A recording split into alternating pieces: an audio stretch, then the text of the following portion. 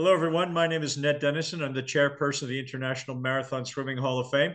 We have two guests with us today Marcia Cleveland. Say hello, Marcia. Hi. And Pilar from Argentina. Hello.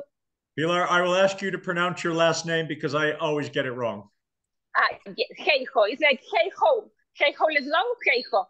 Hey ho. Yes. Um, I, I want to give you a small background of each of the ladies. Um, starting with Pilar, uh, she is an elite racer, has won five majors.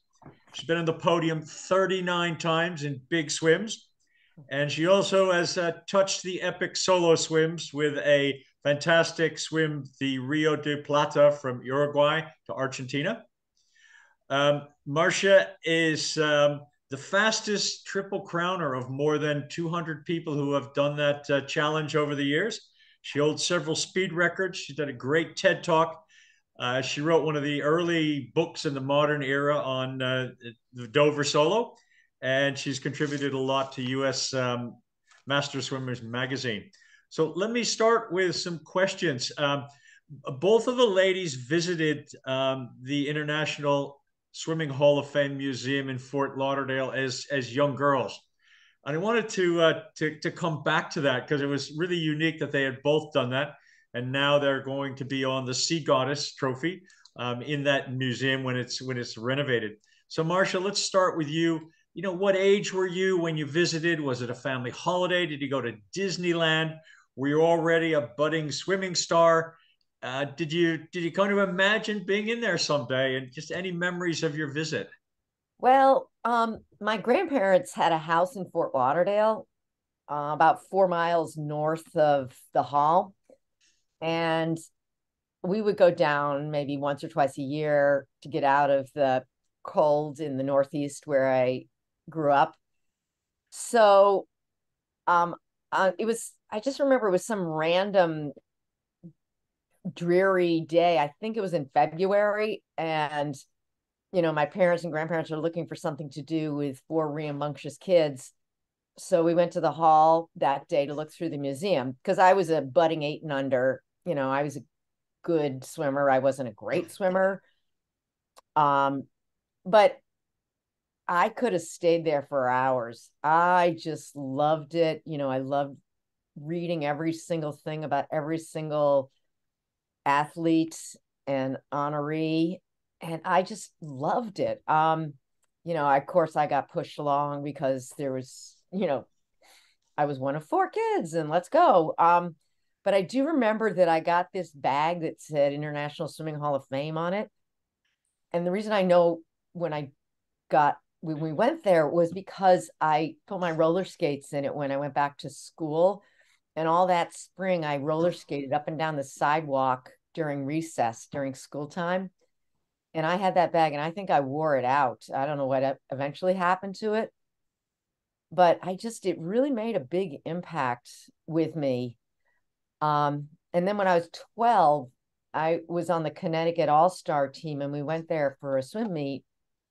And I just, that was the first time I swam in the pool and I really swam out of my mind um, there. But there was no way in the world I could have ever envisioned that I was going to be someday an honoree. Um, you know, everybody wants that. You know, every athlete on any sport wants to be in the Olympics or whatever. But uh, visualizing it, you know, this was probably 1973 or so. You know, that's the place where Mark Smith, Spitz and Johnny Weissmuller and Esther Williams. And I don't even know if I could have named another swimmer who was in the hall at that time but no way was I ever going to be there. So, you know, and after I swam there, it was kind of a, you know, I had an okay career swimming wise.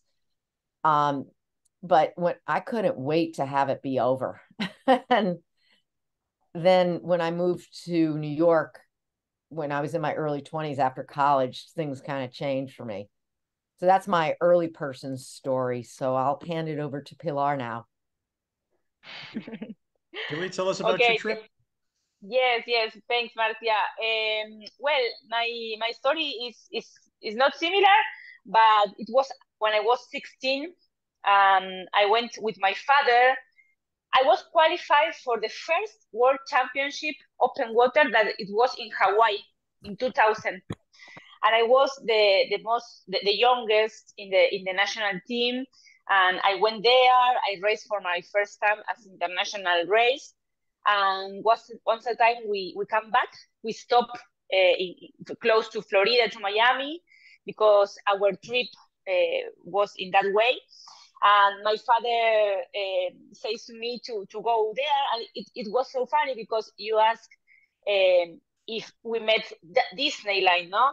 And it is so funny because this was my Disney, you know, this, the Hall of Fame was my Disneyland. Uh, I met Hall of Fame, but I didn't met Disneyland. But this was my, my Disney. So the first time I was there, it was 16. And once a time I, I went there in South, and it was like really emotion because um, I don't know if it's still the, the, same distribution, but at that time it was like a wall for each country, and it was the, the, the walls from Argentina, and in that part, uh, it was Alfredo Camarero. Alfredo Camarero was my reference when I was a kid, so I saw him in the, in the wall, and I just dreamed to be there some someday, you know. And it was very funny because when I came back to Argentina, I wrote a paper, a paper that, that says a future world championship, no, you know, and and I put this paper in the in the desk where all the every day I study. Um, for this reason, my, my, my visit there it was like very very important, and I always say that it was the, the, place where I dreamed for first time to, to win the, the, the, the ranking, you know, the, the, the world uh, championship. Um, so bringing a, uh, a, a young child, a budding swimmer, to that uh, Hall of Fame museum, I, I can see lots and lots of positives, but but I sometimes worry that you know, a very small percentage of footballers are going to be playing in the World Cup finals. A very small percentage of pool swimmers are going to be standing on the Olympic podium uh, for 50 meter freestyle. Very small percentage of open water swimmers are going to be International Marathon Swimming Hall of Fame. How do you, you know, how do you advise parents to to, to bring their kids and encourage them while at the same time not making them crazy? You want me to answer well, you go, you go, you go first, Marcia.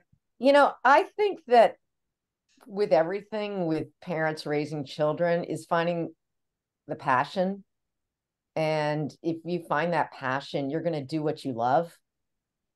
And like you just said, Ned, that, you know, such a small percentage of people get to the top. And I was certainly never one of them. You know, I don't think that the Hall of Fame should be the end goal. It should be part of the journey as you're getting along there. And, you know, your peers are going to recognize you if it's supposed to be. Um, but I just would say just do what you love and find what you love. And as a parent, I mean, I've been on both sides of it. You know, if the if the child demonstrates that they're really in love with something like the Hall of Fame, take them there and maybe they can read about it because maybe if they're not going to be at the athletic end of as an honoree, maybe they can become a journalist because they're really knowledgeable about what they're doing. You know, if it's the football or the, you know, basketball or whatever Hall of Fame, having them be really immersed in something that they love is going to spur their passion. And if they're not that interested in it, well, then find something else. But finding something that you're really passionate about is going to allow you to take that long term journey. I mean, for me, I really thought I would be done with swimming after college. And at age 58, I have done most of my major swimming at since college. You know, and I found that I really loved open water swimming and I just happened to be good at it. And it certainly kept me sane a lot of the times and it keeps me in shape. So there's been times I've trained lots and there's been times I haven't trained lots, but we've raised two kids and, you know, balancing work and all that and family. I just say that parents just need to see that if this is a passion for kids, let them embrace it, you know, visit the hall, but don't make it the end journey. Really? Yes, yes. Well, I, I am agree completely with Marcia, but also maybe I can add the, the, the importance of the supporting of the parents to the kids.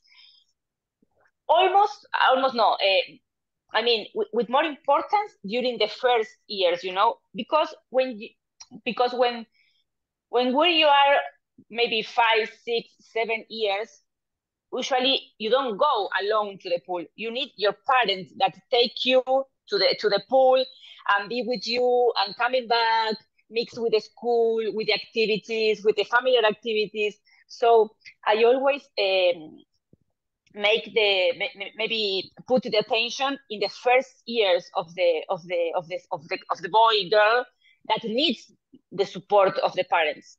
Um, not also in the good moments, um, in, in, the bad moments too. You know, always uh, make the the importance to to let the the kids that the parents always be with them. You know, in the good moments and in the bad moments. But my my message for for for parents is the importance of supporting supporting during during all the age, but most during the beginning because they need the parents to do a sport, to do to the pool, you know. So this is my my advice. Okay. So just to, to make it clear to everybody, the um, the International Swimming Hall of Fame in Fort Lauderdale has a, a fantastic facility. They have just completed the, the incredible new high diving tower. The, the museum itself is under renovation, so the main part is closed for some time. Uh, we're very fortunate in the International Marathon Swimming Hall of Fame. We fit underneath the wing of the International Swimming Hall of Fame, and we have some of our own uh, trophies and exhibits and um, and memorabilia in, in in the in the museum, and we're very we're very proud of that. Um, ladies, uh, thank you very much for your time. It's been interesting to touch base on your past, and uh, we wish you a nice holiday season. Thank you. You too. Thank, Thank you, Ned. Thank you, and, and we hope we hope one day maybe go again to the new new Hall of Fame. I'm very excited to new the new one. Yeah, maybe I'll go up the high dive. I won't. Swimming the whole way down.